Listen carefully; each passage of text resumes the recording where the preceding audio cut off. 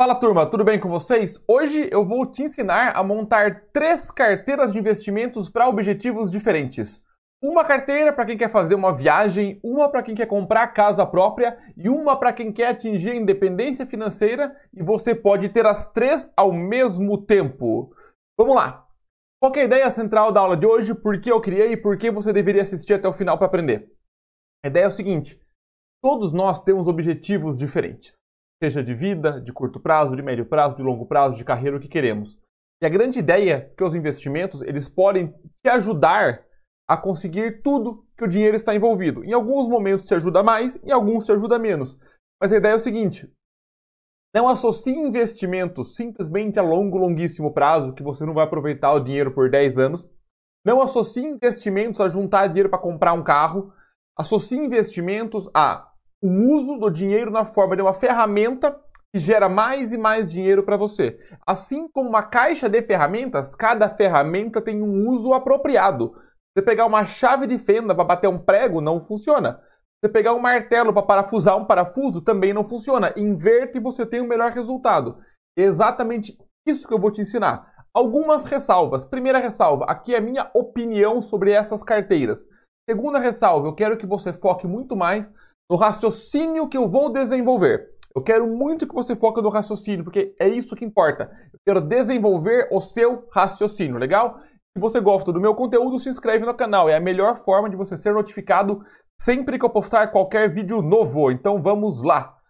Comecemos pelo raciocínio da viagem. Você pode pensar de duas maneiras. Eu vou fazer o exemplo para a viagem, mas você pode pensar também na casa própria, e para independência financeira, mas para casa própria também, tá? Para ficar repetitivo, vou usar esse exemplo só para viagem. Pode pensar de dois jeitos. Primeiro jeito, baseado no seu desejo. Se você vai fazer uma viagem que você já tem é, dinheiro suficiente para ela e quer simplesmente investir para rentabilizar um pouco mais, você pode basear no seu desejo e fazer uma sequência de perguntas extremamente importantes. Primeira pergunta: Quanto tempo você quer fazer a viagem? Não é enquanto você pode, é quando você quer. Eu quero fazer a viagem, Matheus, em seis meses, um ano, um ano e meio, sei lá. Quanto você quer fazer a viagem? Segunda pergunta: quanto de fato custa a viagem? A viagem custa, sei lá, X. E aí, quais investimentos são seguros nesse prazo? Essa pergunta aqui é extremamente importante. Você quer viajar em seis meses? É um investimento. Quer viajar, vou exagerar aqui, três anos? É outro investimento que se torna mais ou menos seguro. Quarta, qual que é o rendimento esperado? Qual que é o rendimento esperado? E logo eu vou buscar o maior rendimento esperado, dado a segurança para esse prazo. E cinco, quanto que eu preciso poupar por mês para chegar nesse investimento, para chegar neste valor de viagem, ou aportar uma vez só para chegar nisso. O outro jeito de raciocinar é baseado na sua realidade, que acaba sendo o mais comum das pessoas. A viagem é de um valor maior do que você tem hoje, você tem que pensar de outro jeito. Primeiro, quanto que eu consigo poupar por mês para esse objetivo? Agora é o contrário, não é quanto é, eu quero, é quanto eu consigo. A nossa realidade é limitante às vezes. E aí você pergunta o quanto custa, baseado no quanto você consegue e o quanto custa, aí você vai tentar pegar o prazo ideal para sua viagem. Você parte do ideal e depois se adapta à realidade. Beleza? Você quer viajar em seis meses, estou os investimentos seguros para seis meses, e pergunta: existe investimento seguro que me leve a esse objetivo? Existe?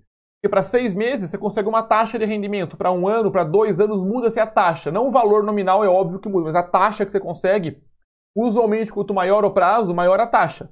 Agora, eu quero viajar em seis meses, não tenho dinheiro, o que, que eu faço? Volta para três. Tem que aumentar o meu prazo. Concorda? Depois que aumentei o meu prazo, eu revejo os investimentos e vou fazendo isso até chegar na realidade. Porque às vezes você quer viajar em seis meses e você não consegue. Você não tem que se apertar, se matar se você não consegue tem que buscar um investimento que tenha uma expectativa de retorno no longo prazo, você vai viajar em seis meses ou um ano. Então, essa é a sequência. Quando você consegue poupar, o quanto custa, qual é o prazo que você gostaria de viajar, busca um investimento seguro para esse prazo, faz a conta se nesse prazo com o que você poupa hoje chega lá, se não, aumenta o prazo. Não tem muito como fugir disso, legal?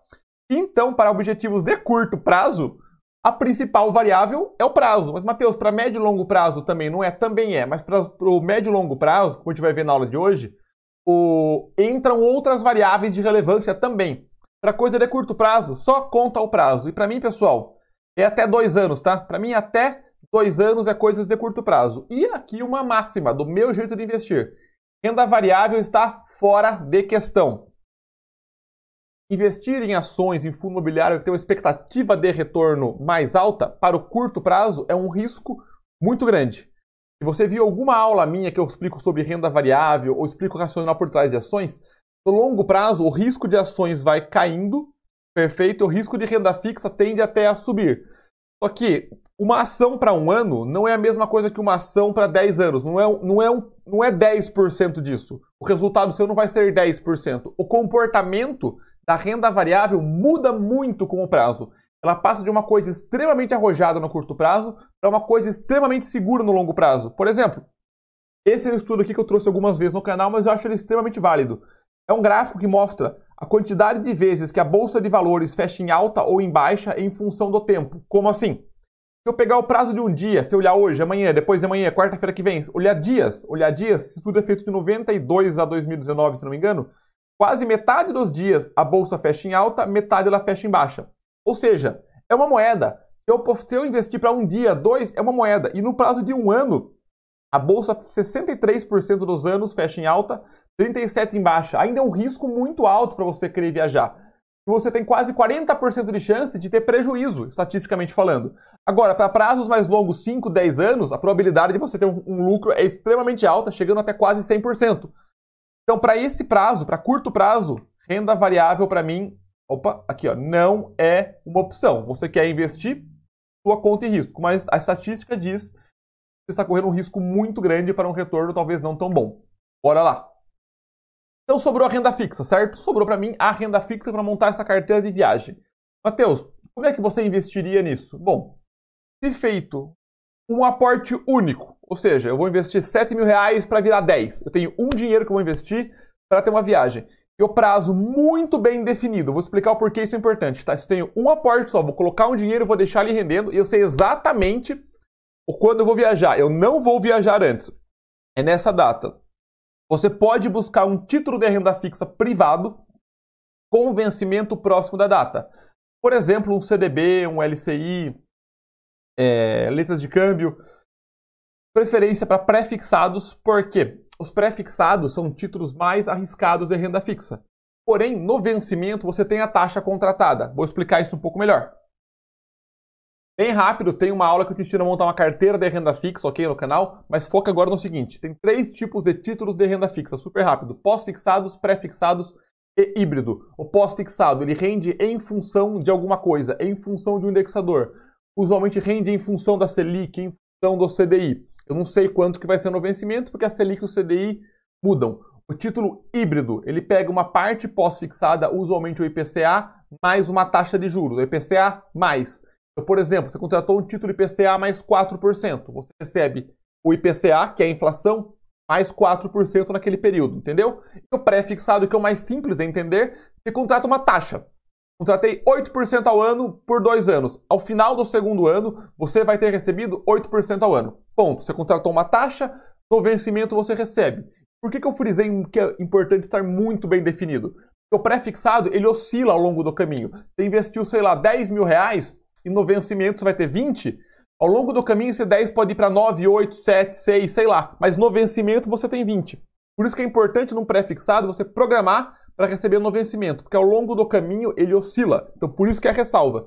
Por que você dá preferência para o pré-fixado, Matheus? Ele é o título mais arriscado que tem.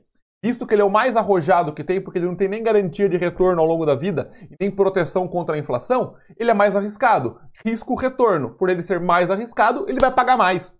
Então, entre o pré, o pós e o híbrido, no momento da contratação, no vencimento eu não sei, porque a inflação mudou, o CDI mudou, mas no momento da contratação, o pré-fixado, ele usualmente paga mais porque ele é o mais arriscado.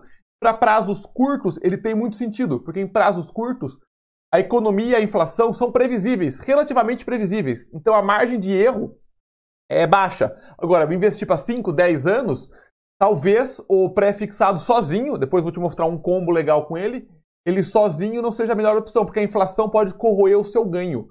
A inflação pode matar o seu ganho num pré-fixado. Você vai receber o que você contratou, mas a inflação é a perda do poder de compra do seu dinheiro. As coisas ficam mais caras. Então, se você teve uma taxa e a inflação foi igual a essa taxa, você acabou não, não tendo aumento do poder de compra. Mas para curtos espaços de tempo, A inflação e a economia é mais previsível, não disse que é previsível, disse que é mais previsível, esse tipo de título passa a ter sentido. Beleza? Então, bora para cá, para a tela comigo. Vamos lá. E, só para te lembrar como é que você faz a conta. E essa é uma conta que você aprendeu na sexta série com a tia Maria. O vencimento do seu título nada mais é do que o aporte que você faz multiplicado por 1 mais a taxa elevado ao tempo. Ou seja, o vencimento do meu título é o quanto eu poupo vezes os juros. É simplesmente isso que essa fórmula está dizendo. E a única fórmula que você tem que saber de investimentos é essa. E se eu passar dividindo aqui, o meu vencimento do título é 1 mais a taxa elevado ao tempo, simplesmente para te mostrar como é que você faz a conta, tá bom? Se a minha viagem, de repente, custa 10 mil reais e eu achei um pré-fixado que me paga 7% ao ano, eu vou viajar em dois anos, eu, na teoria, posso investir 8.700 reais e vai virar 10 mil no vencimento. Mas, Mateus, e o imposto de renda? Mas, Mateus, e tal taxa? Exemplo, pessoal. Não vamos complicar aqui, aqui a ideia é ser didático, beleza? Você quer receber mais ou menos 10 mil reais, se pegasse um CDB, você ia pagar 15% de juros sobre, perdão, 15% de imposto de renda, mas você pegou uma coisa assim no LCI, no LCA, você não paga nem imposto de renda, não tem taxa nem nada. Então foca no exemplo, no raciocínio. A ideia aqui é te ensinar. Beleza? Todo mundo comigo até aqui? Então, seguindo, bora lá. E se você fizer aportes mensais, que é mais provável que seja a sua realidade de fato, certo? Eu utilizaria um pós-fixado. Um pós-fixado que renda no mínimo 100% do CDI ou da Selic e com altíssima liquidez. Ou seja, eu, Matheus, para um objetivo de curto prazo, até dois anos, eu acharia um título pós-fixado, porque pós-fixado todo dia ele aumenta um pouco.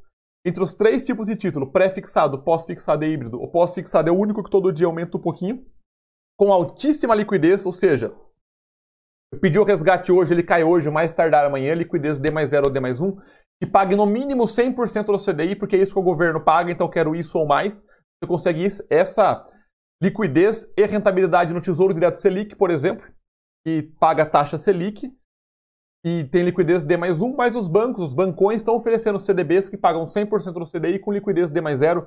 Os bancos digitais têm essa opção também, o RDB da Nubank, o CDB do Banco Inter, enfim. Você consegue essa opção perguntando para o seu gerente, para o seu assessor, ou entendendo o mínimo de investimento, você consegue isso. Porque todo dia vai render um pouquinho eu posso resgatar a qualquer hora. Não estou tão travado na data da viagem. Não estou tão travado na data de, de, que eu vou viajar. Eu posso viajar antes, um pouco depois. Eu consigo adaptar meu aporte às vezes. Um mês eu pouco mais, um mês eu pouco menos. Então, esse tipo de título tem muito sentido para quem quer é, investir no curto prazo. Mas, Matheus, você falou também que o pré-fixado rende mais. Não vale a pena buscar um pré-fixado e proteger da inflação? O restante, pessoal, acaba sendo meu ditado favorito, que é uma tosa de porco. Que é a tosa de porco? É muito grito para pouco pelo. Olha a simulação que eu fiz aqui, ó. Dados reais, tá? Que eu peguei essa, esses rendimentos são reais em agosto de 2020. A melhor taxa pré-fixada que eu achei para dois anos era de 7% ao ano, beleza? E neste momento, o Selic e o CDI estão aproximadamente 2% ao ano, legal? Agora, se eu poupar 500 reais por mês e assumindo que eu consigo investir esses 500 reais por mês pelos 24 meses, legal? A 7% ao ano, que essa taxa não mude e eu consiga fazer isso. Isso não ia acontecer, mas vamos assumir que isso aconteça. Depois de 24 meses, você teria aproximadamente 13.500 reais. Legal? 13.500 reais. Se você poupar os mesmos 500 reais por mês a 2% ao ano, que é 5% de diferença, é menos, é, é menos de um terço. Você tem ao final 12.700. Não é uma diferença tão grande, ainda mais que é bruto. Não é uma diferença tão grande é uma diferença de 4, 5, 6, 7, 700 reais. 700 reais. E se você aumentasse o quanto está poupando em 100 reais, em vez de poupar 500, poupar 600, a 2%, esquece o 7, você teria 15.300. Ou seja, aumentar 100 reais vale muito mais o seu esforço do que você buscar uma taxa de 2 para 7. Isso aqui é o bruto, tá? Se for por líquido, dá uma diferença menor ainda. Aqui um print só para provar. E existe esse rendimento de 7% hoje, está no pré-fixado, para vencimento há dois anos que eu achei numa corretora. E qual que é a grande lição disso daqui? Você não conseguiria encontrar, você não conseguiria encontrar pré-fixado que paga 7% todos os meses para você ficar fazendo esse aporte com frequência. Você ia ter que controlar uma série de coisas, ia travar o seu dinheiro, se precisasse antes, você não ia conseguir, ia ter que esperar o vencimento, sendo que a, diferença de rentabilidade, do meu ponto de vista, pode discordar que não tem problema nenhum, não é tão grande. Não é tão grande ao ponto de valer a pena você ter esse esforço para ter esse retorno.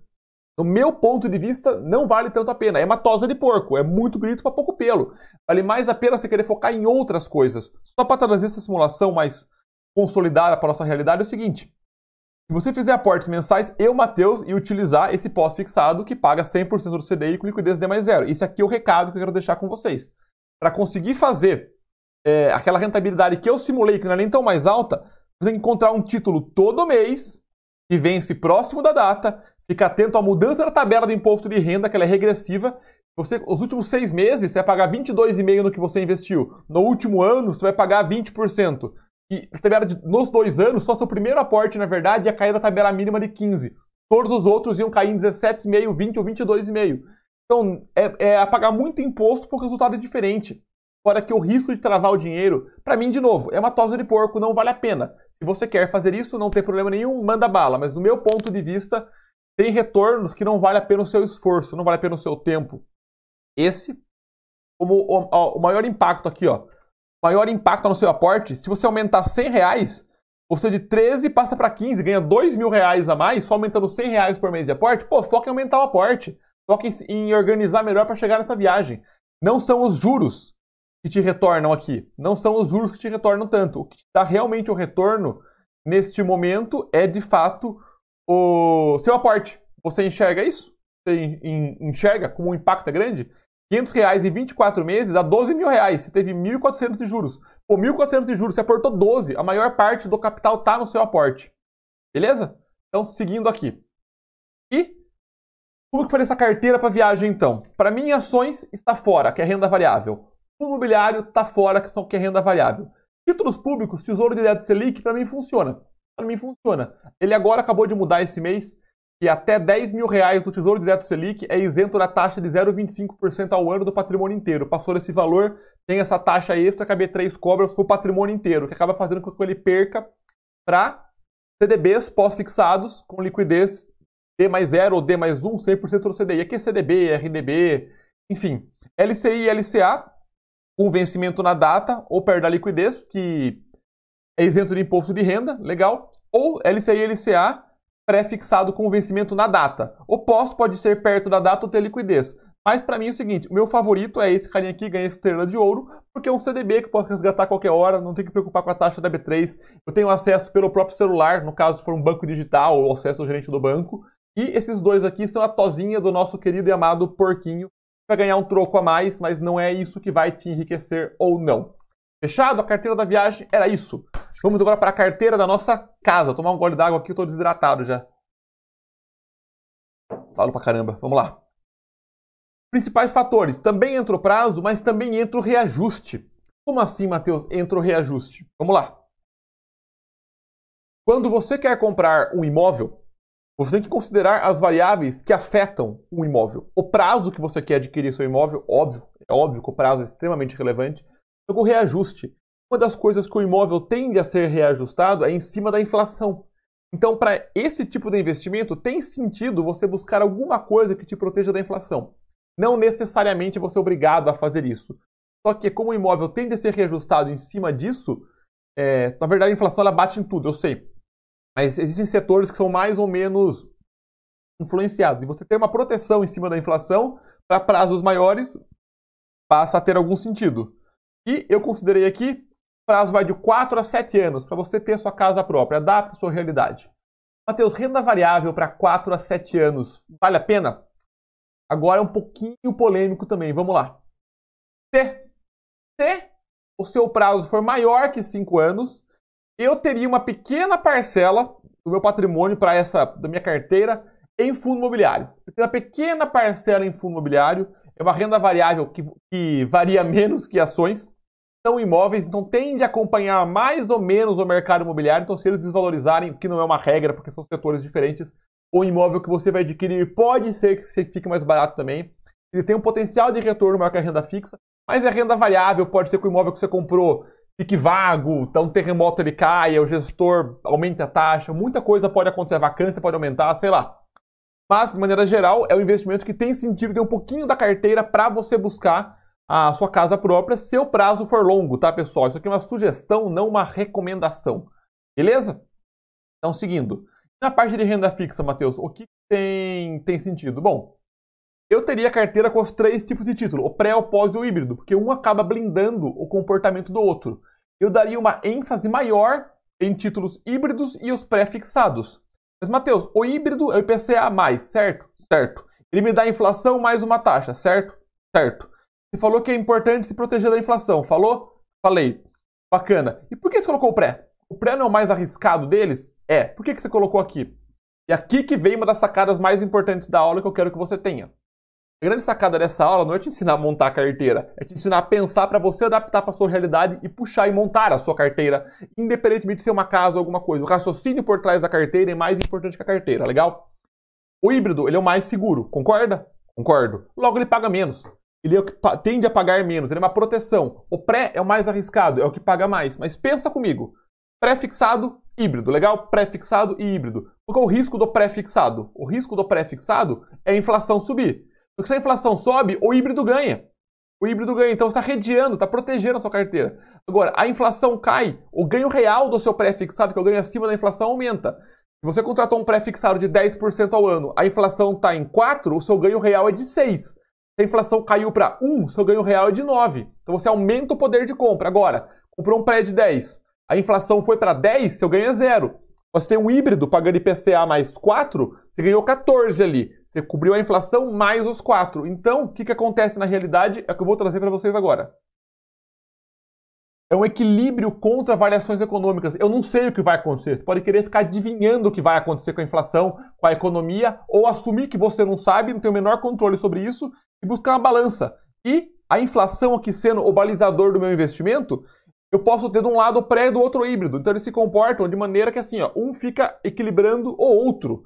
Então eu buscaria investir em pré e híbridos com vencimentos parecidos, justamente para ter essa barreira, essa proteção de ganho. Beleza? E em termos da minha carteira, Matheus, como é que entra? Bom, para mim ações estão fora, ações estão fora. Fundo imobiliário é um joia meio nem verde nem vermelho, um joia meia boca, porque pode ser que tenha sentido para você, mas depende muito. Tesouro público, tipo Tesouro Selic, até vai, porque ele é pós-fixado, é seguro. Mas quando o seu prazo aumenta, você acaba deixando dinheiro na mesa ao não colocar o capital para rentabilizar mais. A grande vantagem do Tesouro Selic, em detrimento a, por exemplo, um CDB pós-fixado, é que você acha um CDB pós-fixado que paga 140% do CDI. A desvantagem é que está travado o seu dinheiro. Ele está travado. A grande desvantagem é essa. Mas eu não quero resgatar, eu quero carregar para o vencimento. Então, para mim, tem sentido buscar esse tipo de título. Entendeu que a vantagem do público aqui não vale a pena, que é o resgate antes? CDB pré-fixado e CDB é, híbrido, com um verdezinho até extra aqui, que são os meus favoritos nesse caso. Mas eu poderia ter os três também. Entendeu a forma do raciocínio? Boa! Dúvidas? Comentários. E se está gostando desse conteúdo, deixa o like aqui embaixo, ajuda muito o YouTube a divulgar esse conteúdo para mais pessoas e motivar eu e a equipe a continuar fazendo esse tipo de conteúdo para vocês. Vamos agora para a minha carteira da independência financeira, poder viver na praia, poder ficar tranquilo, gastando com o que você quiser. Aqui entram uma série de fatores: prazo, perfil, objetivo, tolerância à volatilidade, reserva de emergência está pronta, a sua capacidade de aporte. Aqui, pessoal, eu penso em carteiras para 10 anos ou mais, 7, 10 anos, 15, 20 anos para frente. E repare que, que os fatores são inúmeros. Os fatores são inúmeros. E aí existem inúmeras carteiras que atendem a isso porém tem pontos em comum. Se você buscar sempre esses três pilares que eu vou te falar agora, que são os pilares que eu uso para fazer desde o, todo meu. Toda a minha empresa é baseada nesses três pilares de educação financeira. Tanto no meu curso online, quanto nos meus mentorados, quanto no meu livro, todo o conteúdo é baseado nesses três pilares. Tudo que eu tento ensinar, inclusive aqui no YouTube com conteúdo gratuito, são esses três pilares. É você achar o melhor custo de oportunidade.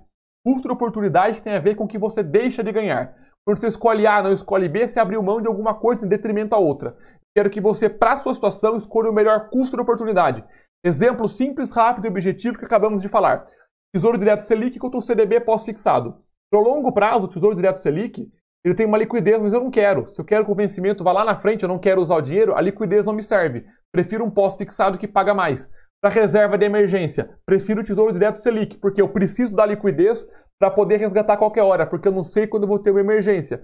Logo, eu aceito receber menos. Entendeu como, dependendo do que você quer, um título serve e outro não? Isso é um exemplo bem rápido do custo da oportunidade.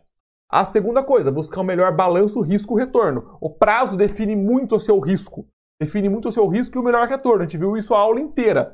Sempre busque melhor balanço risco-retorno. Sempre, sempre, sempre, sempre, sempre comece analisando o risco. E a terceira coisa, que é a mais difícil de todas, que eu sei que é, é fazer a pergunta certa. Quando eu vou falar com as pessoas de investimentos, eu falo, Matheus, não sei nem o que perguntar. Pois é, esse é o principal problema. É o que eu e o canal aqui queremos ensinar você, é saber o que questionar. E se você fizer isso, eu faço uma afirmação extremamente arrojada aqui, que qualquer carteira te enriquece. Qualquer carteira te enriquece. Se você estiver buscando isso, qualquer carteira te enriquece.